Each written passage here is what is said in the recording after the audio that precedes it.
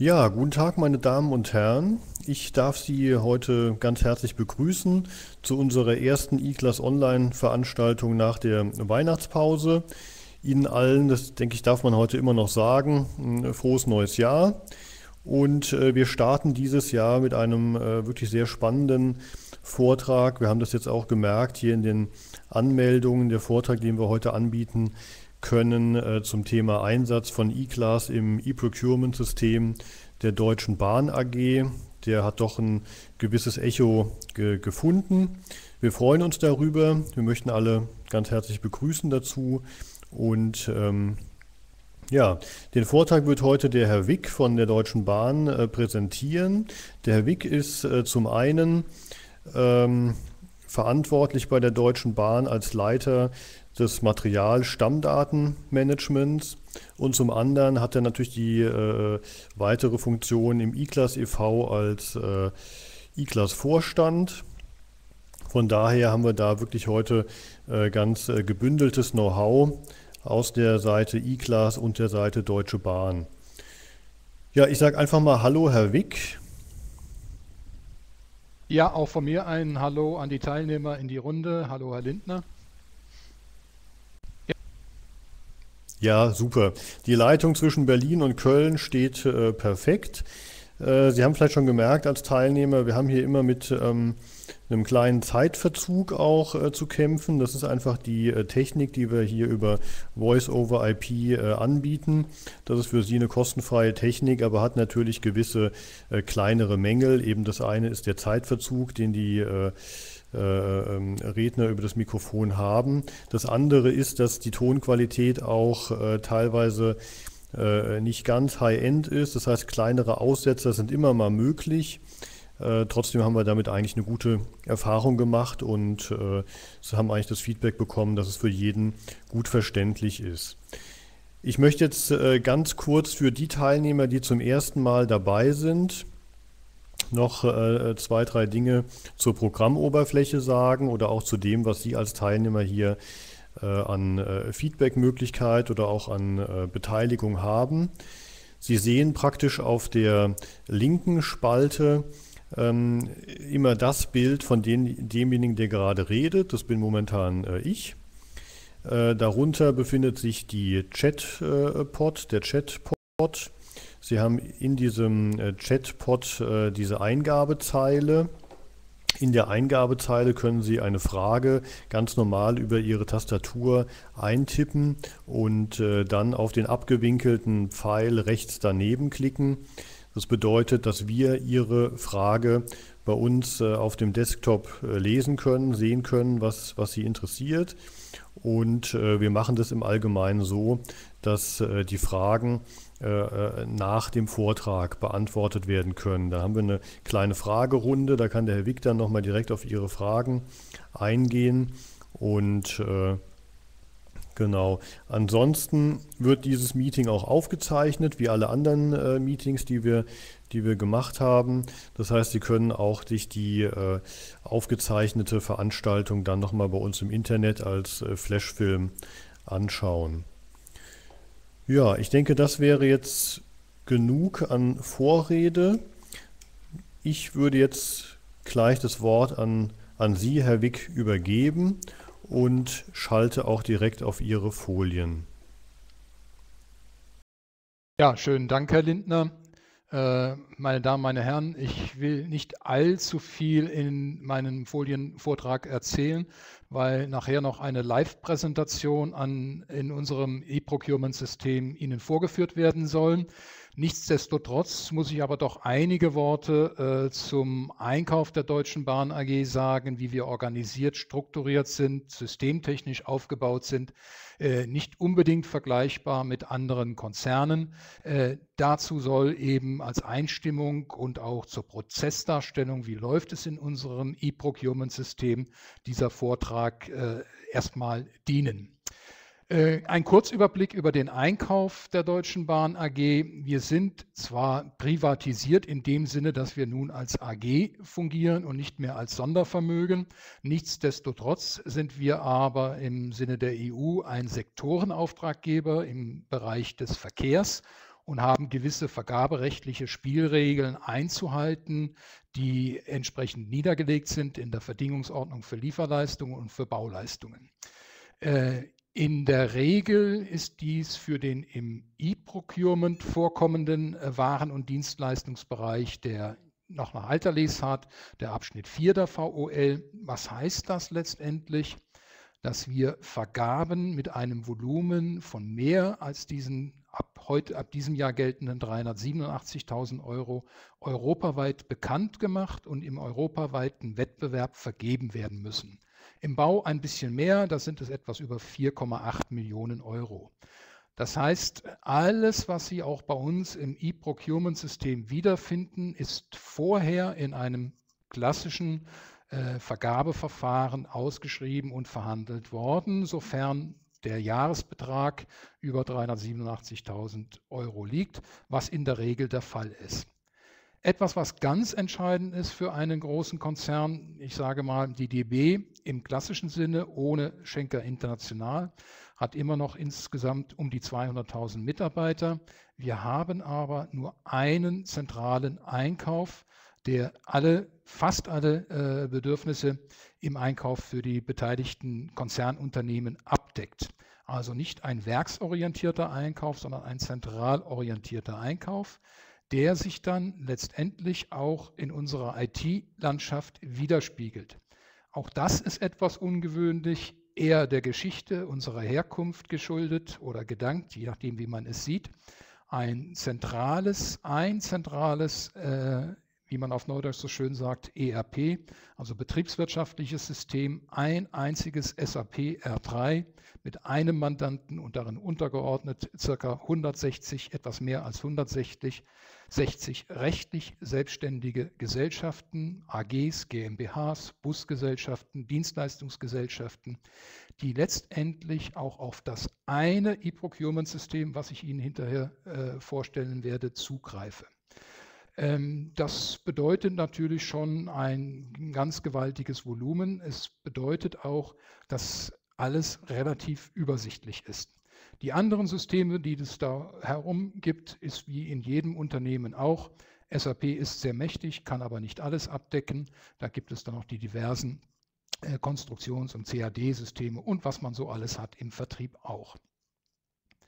Was uns speziell interessiert, ist eben das zentrale SAP R3 und daran angeschlossen, worauf ich nachher eingehen werde, unser E-Procurement-System mit dem Namen ClickShop darüber hinaus noch einen auf Neudeutsch genannt Sourcing-Plattform, in dem wir im Internet unsere Anfragen platzieren, zugelassene Bieter auf der Plattform ihr Angebot abgeben können. Diese beiden Systeme, sowohl der Clickshop als auch die Anfrageplattform MyBusiness, arbeiten nach außen hin ausschließlich mit der Klassifikation nach E-Class. In unserer äh, Welt mit der Version 5.1.3. Darüber hinaus natürlich noch die obligatorischen Auswertesysteme, die klassischen Business Warehouse von SAP. Äh, tiefer möchte ich eigentlich nicht in unsere IT-Welt eingehen. Das sieht in jedem Konzern etwas anders aus. Der Vorteil ist halt eben bei dem Konzern Deutsche Bahn AG, dass wir ein Kernsystem haben, auf dem wir alles aufbauen, unsere Stammdaten, letztendlich auch unser E-Procurement-System. Ein kurzer Screenshot, ich glaube kaum, dass es äh, en Detail lesbar ist, unserer Sourcing-Plattform. Auch hier können Sie sehen, äh, das sind dann äh, im Prinzip im Internet weltweit bekannt gemachte Anfragen äh, nach E-Class strukturiert, will ich hier nicht weiter eingehen, hat mit unserem E-Procurement-System als solchen nichts zu tun. Wie sieht der Clickshop oder unsere E-Procurement-Architektur im Prinzip aus? Äh, auf der einen Seite der Lieferant, der je nachdem eine Vollintegration, eine elektronische Vollintegration oder eine äh, Basic-Integration mit unserem Katalogsystem hat. Momentan ist es noch äh, ein Katalog von Poet. Wir haben im letzten Jahr äh, vom ehemals äh, IBP SAP umgestellt auf SAP SAM. Das ist letztendlich das äh, Kernsystem, wo die Daten zusammenfließen und verwaltet werden, herübergegeben werden an unser zentrales äh, SAP-System der Deutschen Bahn AG und von dort aus werden äh, die Bestellungen, die Wareneingänge und die Gutschriften, die Besonderheit bei uns im Clickshop, äh, gehe ich später noch einmal en Detail ein. Äh, wir arbeiten mit dem Gutschriftverfahren, das heißt, der Lieferant braucht uns über den Clickshop bestellten Leistungen keine Rechnungen mehr bestellen. Äh, die Basisdaten oder die Basisstandards, für die wir uns entschieden haben, sind auf einer Seite mal das Katalog, das Datenaustauschformat BME-CAT 1.2. Es gibt zwar eine aktuellere Version des BME-CAT, aber wir verwenden nach wie vor die Version 1.2 und eben eClass 5.1x, in dem Falle 5.1.3.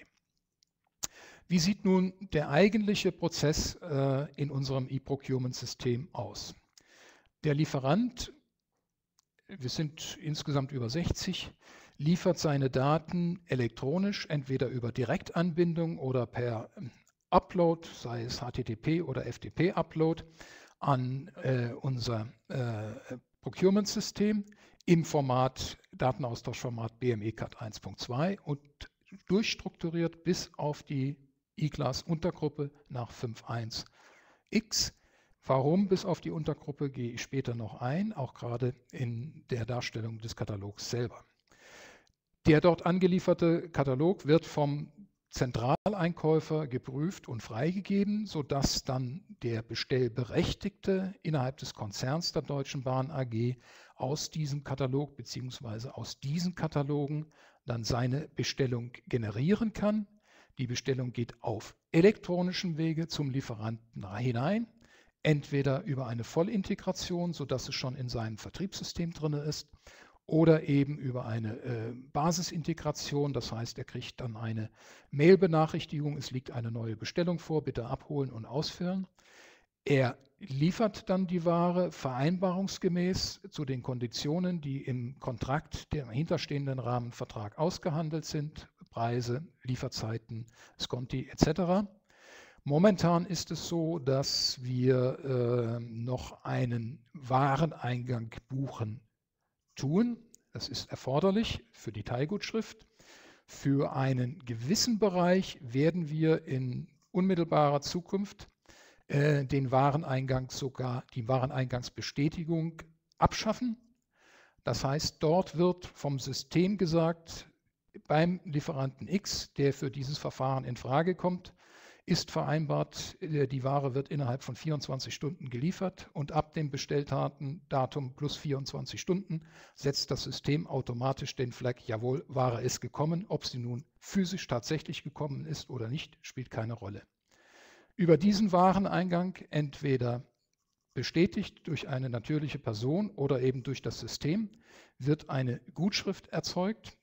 Die Gutschrift wird direkt per Papier und auf elektronischem Wege dem Lieferanten zugeteilt. Es erfolgt dann auch die entsprechende äh, nach einmal pro Woche der Zahllauf und der Lieferant hat sein Geld, ohne dass noch eine Rechnung gestellt werden muss. Momentan ist es auch so, dass auch eine Teilgutschrift erzeugt wird, beispielsweise zehn Einheiten bestellt, nur fünf geliefert und fünf im Wareneingang bestätigt. Dann wird eben auch nur eine Gutschrift über diese fünf Stück erzeugt. Für die Artikel, wo später mal, beziehungsweise für die Lieferanten, wo später mal auf den menschlichen, in Anführungszeichen, Wareneingang verzichtet wird und der Wareneingang vom System erzeugt wird, obliegt es dann dem Besteller, eventuelle Minderlieferungen zu reklamieren. Das ist also, glaube ich, nicht unbedingt üblich in der Industrie. Da sind wir schon einen, glaube ich, sehr weiten Schritt vorangegangen hat uns auch konzernintern sehr viel Überzeugungsarbeit gekostet, eben dieses Verfahren zur Vereinfachung der Prozesse bei uns, auch zur Vereinfachung der Prozesse beim Lieferanten durchzusetzen.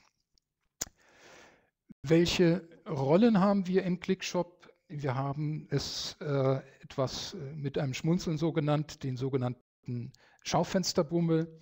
Äh, wir haben ein internes Netzwerk äh, an dem mehr als 50.000 Mitarbeiter der Deutschen Bahn, des Konzerns Deutsche Bahn AG, angeschlossen sind. Es ist klar, es können nicht alle sein. Die meisten sind irgendwo unterwegs auf der Baustelle, fahren Lok, sind Zugbegleiter. Die sind natürlich nicht permanent im Büro und haben Zugriff über ein äh, Online-System. Äh, die können sich in dem Procurement-System ClickShop anschauen, welche Artikel es gibt, können äh, einen Warenkorb füllen, sind aber nicht berechtigt, diese Bestellung, die, eine Bestellung auszulösen. Es gibt dann die sogenannten Bestellberechtigten. Das sind etwas über dreieinhalbtausend Personen im Konzern. In der Regel sage ich mal so zur Vereinfachung äh, die Sekretärin oder der Controller oder die Controllerin innerhalb einer Abteilung, die die Bestellung auslöst und äh, damit nicht jeder einen Bleistift beim Lieferanten bestellt, sondern die Bestellungen gebündelt eingehen. Äh, darüber gibt es natürlich die Wareneingangsbucher nach dem strengen Vier-Augen-Prinzip und letztendlich die Funktionen, die im Reporting notwendig sind. Äh, wie viel ist äh, bestellt worden, wie viel ist gelaufen in den einzelnen Warengruppen. Das System, so wie es Ihnen jetzt vorgestellt haben, ist im, definitiv im siebten Produktionsjahr 2003, Ende 2003 sind wir live gegangen. Wir haben die Vorteile mal ganz kurz äh, aufgelistet für den Lieferanten, der äh, wir mit unserem Procurement-System haben. Es ist so, dass keinerlei Transaktionskosten auf diesem in Anführungszeichen Marktplatz äh, entstehen. Es ist kein eigentlicher Marktplatz im Sinne, dass jeder dort draufkommt, sondern nur für die Deutsche Bahn, für den Konzern Deutsche Bahn AG selbst. Äh, beide Seiten, sowohl Besteller als auch Lieferant, haben äh, erhebliche Prozessvorteile. Wir haben einen durchgängigen elektronischen Prozess ohne Medienbrüche. Das heißt, Fehler werden vermieden. Es wird keine falsche Bestellnummer abgeschrieben. Es gibt keine Reklamation, das wollte ich eigentlich nicht haben, sondern was anderes. Wir haben die maschinelle Verarbeitung von Bestellungen und Gutschriften automatisiert beziehungsweise vollautomatisiert, wenn eine Vollintegration äh, des, auf Seiten des Lieferanten gegeben ist, was natürlich auch in Abhängigkeit ist von der Bestellhäufigkeit. Äh, wir erreichen damit sehr, sehr schnelle Zahlläufe der, durch den Wareneingang und durch, den, äh, durch das Gutschriftverfahren, insbesondere dann, wenn in gewissen Bereichen eben auch auf den menschlichen Wareneingang verzichtet wird, was durch die Standardisierung möglich ist, wesentlich häufigere Katalog-Updates, was Preise und Artikel betrifft. Potenziell mehr Bestellungen. In der Vergangenheit war es so, dass äh, viele Mitarbeiter des Konzerns doch gerne mal zum Baumarkt oder zum Büromarkt um die Ecke gegangen sind und äh, dort ihre Bleistifte, ihre Flipchart oder sonst was gekauft haben. Äh, das ist mit dem bequemen System, was wir momentan im Einsatz haben, ich will nicht sagen auf 0% zurückgegangen, aber signifikant zurückgegangen. Das heißt, auch die Lieferanten, die dort integriert sind, haben tatsächlich mehr Bestellungen bekommen, als es in der Vergangenheit war. Es ist die Möglichkeit gegeben, eben durch den Katalog eine erweiterte und gut beschriebene und gut bebilderte Produktpalette anzubieten, zeige ich Ihnen nachher. Ein sehr, sehr hohes Ziel, was wir uns alle gesetzt haben. Äh, irgendwann wird vielleicht mal der Papierkatalog äh, obsolet sein, noch ist das nicht. Und da haben wir uns auf die Fahne geschrieben als Deutsche Bahn AG, wir bleiben im aktuell gültigen Standard und verzichten auf den bisher im Vorsystem, in dem alten System angewandten äh, bahnspezifischen Format. Wir haben nichts an E-Class verändert und wir sind auch im BME-Standard streng geblieben. Und was ganz wichtig ist, alle Lieferanten, die bei uns einen Clickshop-Katalog äh, integriert haben, bekommen auf Wunsch kostenfrei einen Zugang zu eben genau diesem Clickshop, damit Sie sehen, wie Ihr Katalog unseren Bedarfsträgern gegenüber präsentiert wird. Das wird auch von den äh, Lieferanten sehr fleißig genutzt. Wie sieht es aus? Was haben wir momentan in unserem Procurement-System drin? Es sind insgesamt mit allen Artikeln etwas unter einer Million, so circa 900 bis 940.000 Artikel in etwas mehr als 60 Katalogverträgen wovon ich sagen muss, dass drei Viertels dieser Lieferanten auch zur Gruppe der kleinen und mittelständischen Unternehmen zu zählen sind. Äh, Kataloge werden geliefert im Austauschformat nach BME CAT 1.2. Die Artikel, wie gesagt, sind äh, klassifiziert nach IGLAS 5.13. Und wir haben jetzt relativ konstant, äh, trotz des schlechten äh, letzten Jahres der Wirtschaftskrise, ein Jahresbestellvolumen von circa 50 Millionen Euro. Also nicht ganz unerheblich.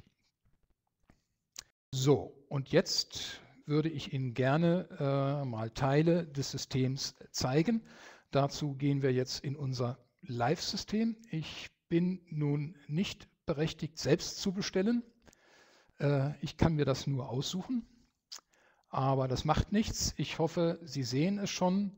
Das ist jetzt quasi das Startbild für den Mitarbeiter, wie wir es genannt haben, Schaufensterbummel.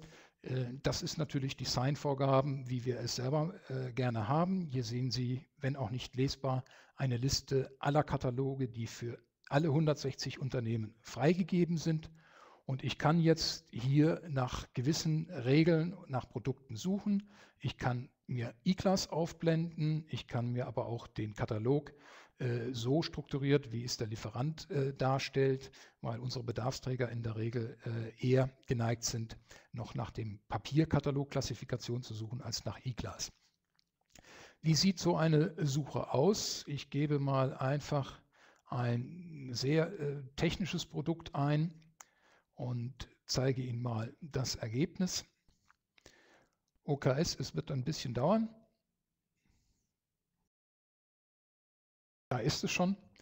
So sieht letztendlich dann die Darstellung des Ergebnisses aus. Ein sehr komplexes äh, technisches Produkt. Ich blende mal die Bilder ein, obwohl hierzu keine Bilder vorhanden sind. Äh, Gleitlack, hier sieht man auch den Lieferanten, ein kleiner technischer Handel in der Nähe von Cottbus, 60 Mitarbeiter, der uns über, äh, für, mit mehreren Produkten versorgt. Ein Wassergleitlack, ich klicke mal hier auf und gehe auch auf das Vollbild. Hier sehen Sie dann die Beschreibung mit dem Lieferantennummer, mit allen möglichen Angaben, sogar die EAN-Nummer ist hier vorhanden. Die Möglichkeit in einem solchen äh, Procurement-System, sagte ich schon, Sie können Dateien, Bilder, Texte etc. pp. Anliefer, äh, mitgeben, äh, werde ich gleich darauf eingehen, die direkte Beschreibung, die einzelnen äh, Konditionen etc. pp. einschließlich der Klassifikation hier. Äh, ich habe dieses Beispiel bewusst gewählt, um Ihnen mal zu zeigen, was es äh, bedeutet, einen äh, Anhang beizugeben. In dem Fall das sicherlich bei dem einen oder anderen auch schon bekannte, äh, jetzt hoffe ich, dass es macht, jawohl, Sicherheitsdatenblatt. Sehr beliebtes Instrument unseres Arbeitsschutzes, in dem Procurement-System nachzuschauen, bei den dafür in Frage kommenden Produkten, was gibt es für Sicherheitsdatenblätter, was muss ich daraus ableiten für die Verwendung eben dieses Produktes. Sie sehen, relativ umfangreich, sehr gut detailliert, ist innerhalb des Procurement-Systems sofort für den Besteller ersichtlich und letztendlich auch äh, ausdruckbar bzw. hinterlegbar. Das ist das eine. Wie hier äh, sehen Sie die E-Class-Klassifikation äh, möchte ich jetzt nochmal darauf eingehen, warum wir darauf Wert legen, dass wir bis auf die E-Class-Untergruppe von unseren Lieferanten die Klassifikation haben wollen. Ich sagte schon, der große Vorteil eines solchen Procurement-Systems ist die Prozessautomation. Wenn wir auf Rechnungen verzichten, verzichten wir letztendlich auch auf die Arbeit und auch auf die Kontrolle von Buchhaltern. Hinter jeder Bestellung, hinter jedem Artikel und jeder Ausgabe, die wir als Konzern DB AG verbuchen, muss aber ein DB-internes Sachkonto hinterlegt werden, um letztendlich unsere Bilanz äh, systemkonform zu erstellen. Wir sind hergegangen, um den äh, Gutschriftverfahren durchzuziehen, haben wir eine äh, Mapping-Tabelle, hinter der, zu der jeder E-Class-Gruppe ein DB-internes Sachkonto hinterlegt ist. Das heißt, derjenige, der bestellt, braucht sich keine Gedanken mehr machen, auf welches Sachkonto intern muss ich es verbuchen. Das macht das System für ihn automatisch. Das Einzige, was er eingeben muss, ist noch seine Kostenstelle. Dann eine weitere Besonderheit in der Suche, äh, die für alle interessant ist. Ich werde mal hier einen Begriff eingeben, den Sie wahrscheinlich kaum kennen, der Begriff Aktendulli. Die Deutsche Bahn ist ja, AG ist ja nun aus dem Zusammenschluss Deutsche Bundesbahn und Deutsche Reichsbahn entstanden und gewisse Begrifflichkeiten sind natürlich in Ost und West schon unterschiedlich gewesen.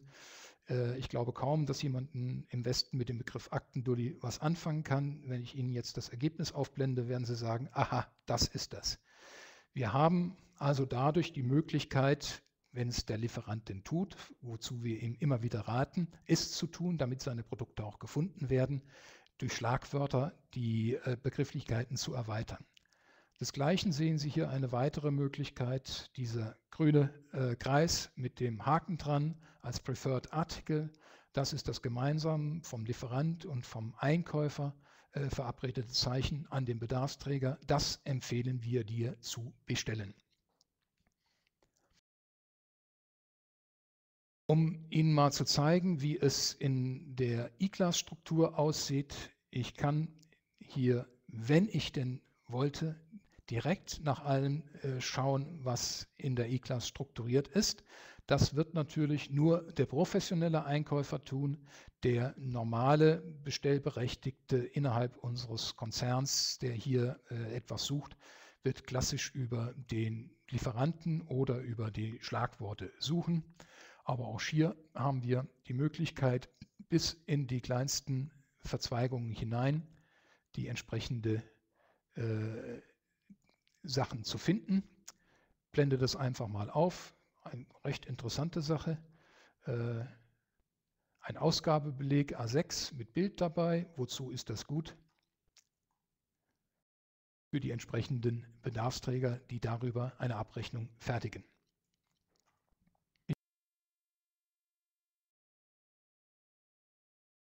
Gehe nochmal auf die Textsuche zurück. Ein paar Besonderheiten möchte ich Ihnen auch noch zeigen, die damit möglich sind, auch für den Lieferanten zu dokumentieren. Und zwar der Feuerlöscher. Feuerlöscher werden natürlich überall gebraucht, insbesondere auch bei, bei uns. Ich will das jetzt hier gar nicht äh, weitergehen. Das sind Standardfeuerlöscher, äh, die sowohl in Gebäuden, teilweise auch in Zügen verwendet werden. Äh, Sie haben hier wieder den Preferred Artikel und was ganz wichtig ist, das kann dieses System jetzt, wichtig für uns, wichtig auch für den Lieferanten, es können Preismengenstaffeln hinterlegt werden, äh, ein bis 300 Stück zu diesem Preis und äh, über 300 Stück zu jenem Preis. Äh, der Besteller braucht sich hier keine Gedanken mehr machen. Er trägt nur die gewünschte Bestellmenge ein und das System errechnet automatisch unter Zuhilfenahme der hinterlegten Preismengenstaffeln, welcher Preis gezogen werden muss. Alles das kann der Lieferant im BME-Cut hinterlegen. Die Felder sind da, sie können, sie gefüllt werden, können gefüllt werden. Ein äh, weiteres noch, was in der Vergangenheit immer problematisch war, gerade auch mit dem BME Cut 1.2. Äh, die berühmten Metallzuschläge.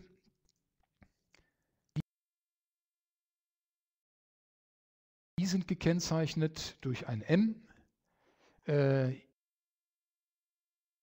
hier verlassen wir eigentlich die Systematik unseres äh, E-Procurement-Systems, weil eben, wie gesagt, BME Cut 1.2 es nicht kann.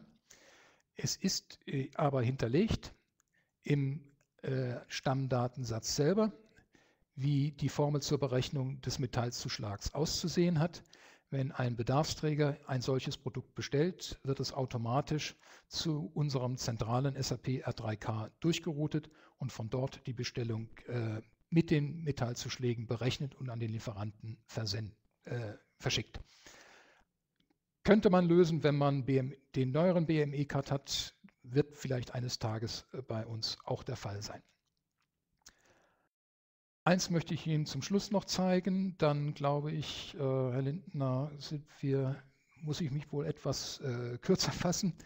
Ähm, wir können auch, sofern es denn eine tatsächliche Materialstammnummer gibt, bei uns im SAP auch danach suchen. Es gibt die Möglichkeit, die Artikelnummer des Käufers, also sprich die klassische SAP-Nummer suchen. Auch hier ein Produkt, äh, eine Kunststoffledertasche für gewisse Lampen. Äh, auch diese Firma, ein klein- und mittelständischer Betrieb aus der Nähe von Köln, sodass der Bedarfsträger eine ganze Menge äh, Möglichkeiten hat, seine Artikel zu suchen und zu finden. Weitere Möglichkeiten sind ebenfalls noch gegeben mit äh, Hinweisen auf Zubehör, auf Ersatzteil, möchte ich Ihnen aber äh, jetzt hier nicht en Detail zeigen. Ganz wichtig für uns hat sich ein solches Procurement-System dramatisch äh, gelohnt. Ich sage es mal so, in unserem klassischen äh, oder in dem klassischen Bereich, in dem Büroartikelbereich, äh, hatten wir in der Vergangenheit so circa 200.000 Bestellungen per annum. Äh, das waren auch in der Regel 200.000 Rechnungen, das heißt 200.000 Buchungsvorgänge in der Buchhaltung. Das ist natürlich ein elementarer Vorteil äh, für uns als Nachfrager, das automatisiert über das Gutschriftsverfahren abzuwickeln.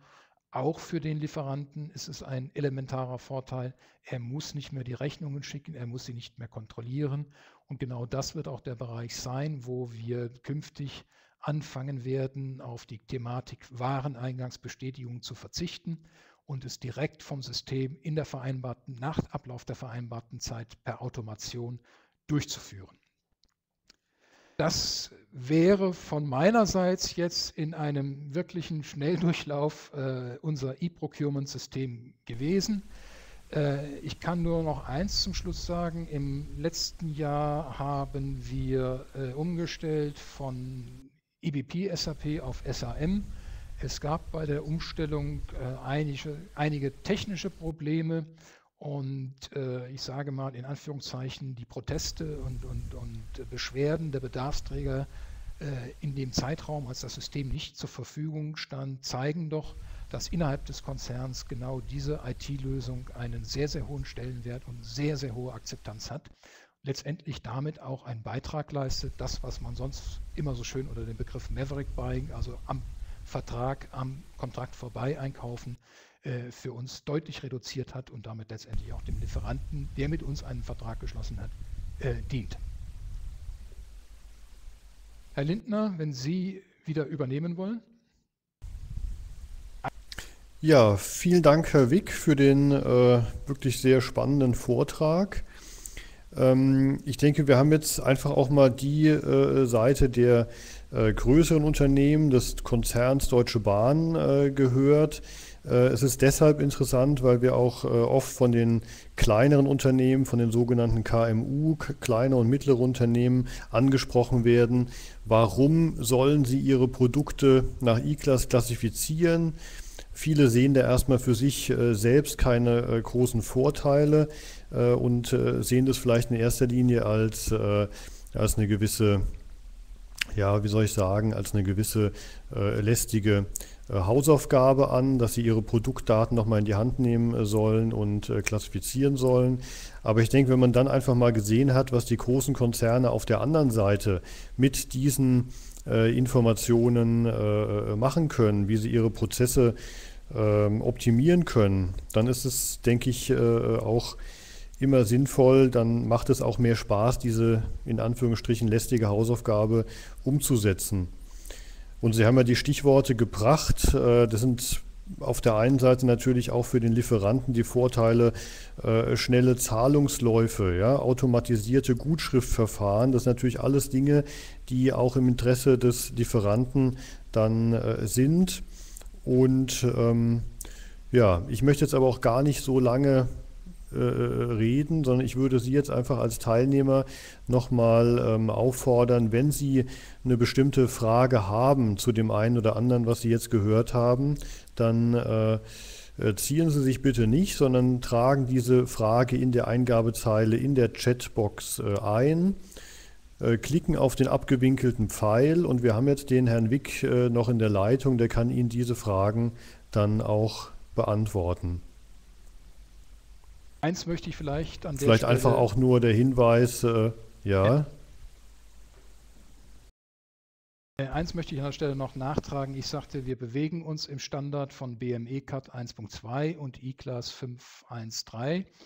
Äh, auch wenn wir von dem Lieferanten nicht das komplette Sortiment übernehmen. Das heißt nicht, dass der Lieferant deswegen für uns einen abgespeckten Katalog machen muss. Im Prinzip reicht unserem System der klassische Katalog, den er jedermann, jedem Marktplatz überall anbietet mit der entsprechenden Preisliste. Von unserem Einkauf wird eben die im Vertrag verhandelte E-Class freigegeben und die nicht im Vertrag verhandelte und äh, abgeschlossene E-Classes-Untergruppen werden gesperrt, sodass auch da äh, seitens des äh, Lieferanten kein zusätzlicher Aufwand entsteht, sofern er denn schon einen Katalog nach diesen Kriterien hat. Ja, Herr Wick, wir haben jetzt hier eine Frage äh, von, von einem Teilnehmer bekommen. Ich lese gerade nochmal vor, damit die anderen Teilnehmer die Frage auch äh, verstehen. Äh, welche Rolle genau spielt bei dem Prozess SAP und wie wurde die Integration durchgeführt? Also welche Rolle spielt bei dem Prozess SAP und wie wurde die Integration durchgeführt? Das ist wahrscheinlich nicht so einfach zu beantworten, ne? aber versuchen Sie es vielleicht mal, Herr Wick. Ja, das werde ich mal versuchen. Ich gehöre nicht zu der Abteilung, die das gemacht hat, aber ich kenne den Hintergrund. Ähm, warum? Die Rolle von SAP war ursprünglich eine ganz, ganz, ganz kleine. Hängt damit zusammen, weil wir als wahrscheinlich einer der letzten Konzerne von SAP R2 auf SAP R3 gewechselt sind. Als wir den Clickshop einführten, hatten wir noch R2 und damit war eine volle Integration in SAP gar nicht mehr möglich, weil niemand mehr eine Schnittstelle zu diesem damals schon obsoleten System entwickeln wollte. Deswegen hatten wir das Gutschriftverfahren äh, eingeführt, sprich letztendlich lief alles in dem sogenannten SAP ERP ab und nur die Gutschriftsanzeige wurde nach R3K, also nach dem SAP R2 übertragen und von dort aus ausgelöst. Momentan sieht es so aus, ist die Einbindung schon etwas tiefer möglich.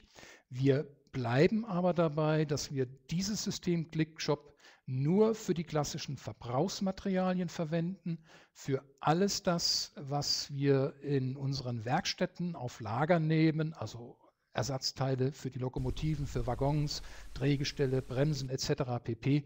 Die werden im klassischen SAP-System ausgeführt. Die Schnittstelle zum SAP ist aber heute so, dass aus dem Clickshop die Bestellung abgelegt wird im System, auch entsprechende Infosätze abgelegt werden, wo notwendig sind und äh, letztendlich über die Integration in das äh, Business Warehouse auch die üblichen Statistiken, Auswertungen gefahren werden kann. Aber letztendlich ist dieses SRM, Supplier Relationship Management in dem Sprachgebrauch von SRM, nach wie vor ein etwas stärker, aber immer noch selbstständiges System.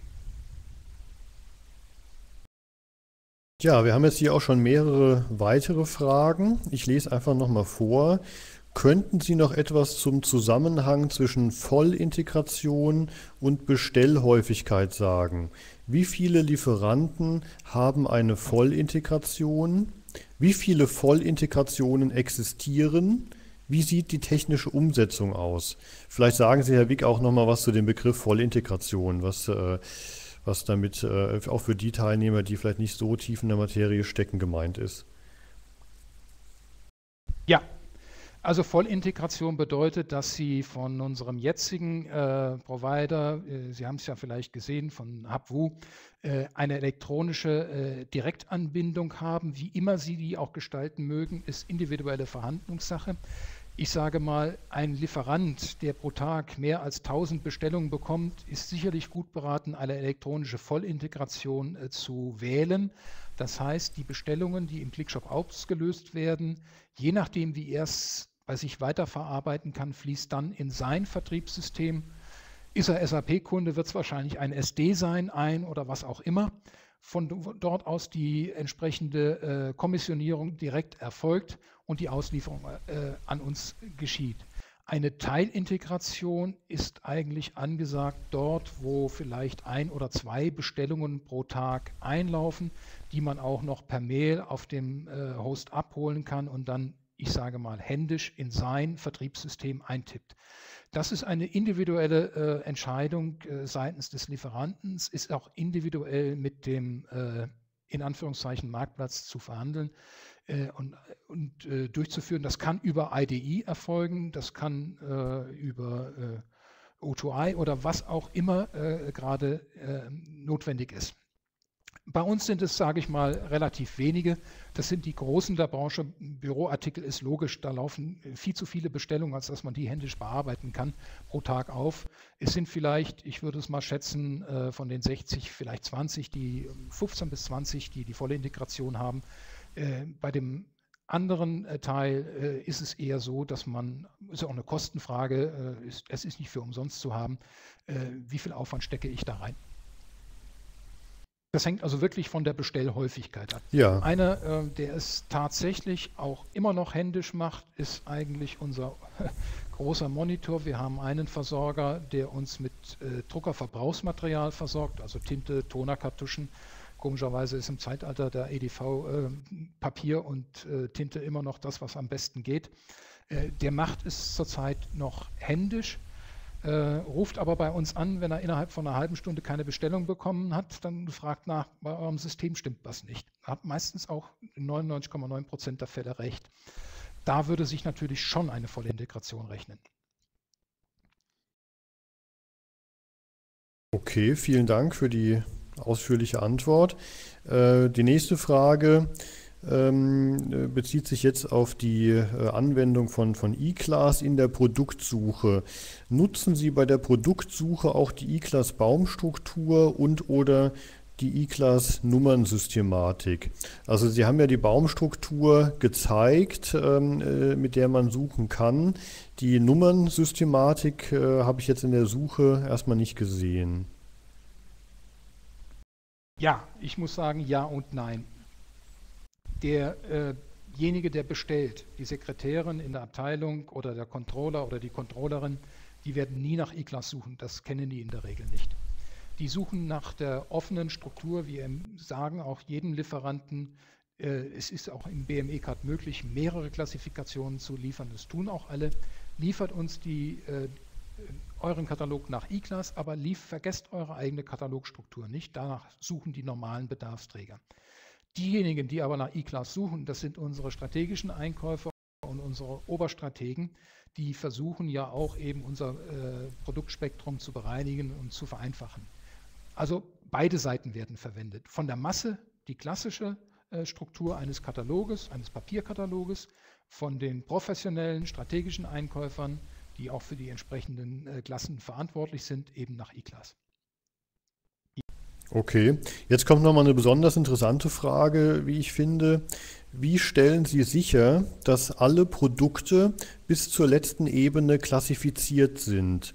Haben Sie ein Katalog-Management-Team, die fehlende Daten selbst nachtragen? Und dann auch gleich gefragt in Klammern, wie viele Personen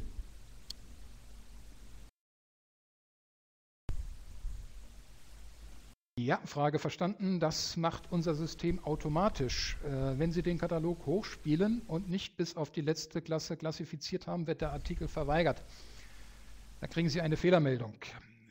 Wie viele Personen das okay. machen, ich sage es Ihnen mal, es ist dramatisch wenig. Äh, lachen Sie nicht drüber. Das ganze System haben zwei Leute aufgebaut. Äh, mittlerweile haben wir okay. ein Content Management Team noch dabei das sind auch zwei Leute, die sich um den Content kümmern. Äh, wir, muss ich dazu sagen, ich war auch daran beteiligt, wir nehmen auch jeden unserer Lieferanten, den wir in den Clickshop integrieren, an die Hand, machen auch eine Präsentation, wie unser System aussieht, erläutern ihm das alles und stehen ihm auch jederzeit äh, mit Rat und Tat zur Verfügung, äh, nehmen auch einen Testkatalog von Ihnen ab und überprüfen ihn auf Herz und Nieren, hat er das auch richtig gemacht. Darüber hinaus gibt es natürlich sowohl im E-Class selber als auch über die E-Class Kooperationspartner eine genügende Anzahl von äh, Dienstleistern, die dort Hilfestellung leisten können. Ich kann nur sagen, aus meiner Erfahrung ist es gerade bei den kleinen und mittelständischen Unternehmen besonders gut gelaufen in der Integration. Das man als ganz großes äh, Kompliment an die äh, flexiblen und schnellen kleinen und mittelständischen Unternehmen. Okay, vielen Dank. Äh, die nächste Frage, welche Nachteile entstehen, wenn der physische Wareneingang nicht mehr verbucht wird? Können Sie darüber was sagen? Haben Sie da Nachteile im Blick, die Sie vielleicht schon festgestellt haben? Ähm, sie sind dermaßen marginal. Ich sage mal, ähm, wenn Sie zehn Bleistifte bestellen und es werden nur neun geliefert, das System sagt, es ist automatisch, es sind zehn geliefert worden. Überlegen Sie mal, was von Aufwand das bedeutet, wenn Sie den einen reklamieren. Der Lieferant auf der anderen Seite sieht es genauso. Wenn er elf liefert und einer kommt auf die Idee, das elfte zurückzuschicken, wird er uns sagen, lasst die Finger davon, schmeißt es weg oder behaltet es. Äh, es gibt ein, ja, die Studie ist schon gut und gern zehn Jahre alt, stammt von äh, damals noch Flughafen Frankfurt.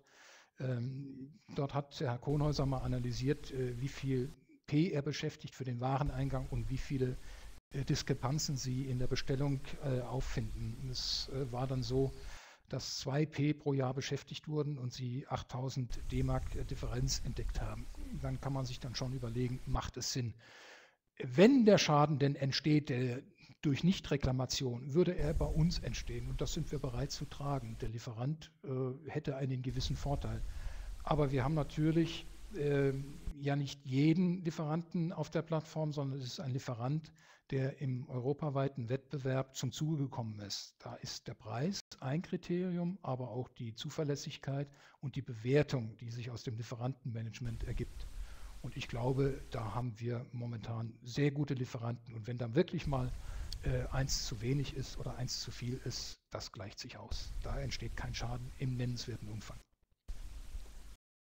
Ja, vielen Dank. Dann kommen wir jetzt auch schon, denke ich, so langsam äh, zum Schluss der Veranstaltung. Wir haben jetzt hier noch eine Frage. Äh, gibt es Gründe, so lange bei eClass 5.1.x zu bleiben? Es gibt ja schon länger die 6.x. Also genauer gesagt sind wir momentan bei der 6.2. es gibt Gründe und die heißen einfach auf unserer Seite Aufwand.